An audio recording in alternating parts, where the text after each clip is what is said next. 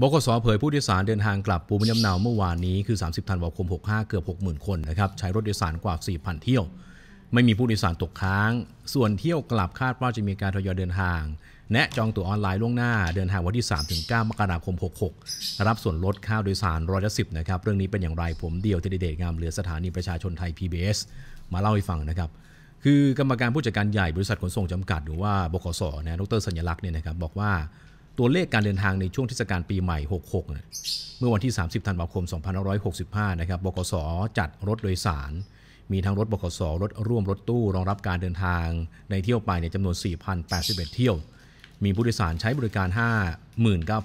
59,564 คน ส่วนเที่ยวกลับก็ได้มีการจัดรถโดยสารจำนวน 3,826 เที่ยวนะครับ รองรับผู้โดยสารใช้บริการ 48,029 คน โดยที่บกสเนี่ยสามารถจัดรถโดยสารได้เพียงพอนะครับ ไม่มีผู้โดยสารตกค้าง ส่วนบรรยากาศการเดินทางวันนี้นะครับ 31 ธันวาคม 2565 ประชาชนส่วนใหญ่เดินทางออกจากกรุงเทพแล้วนะครับ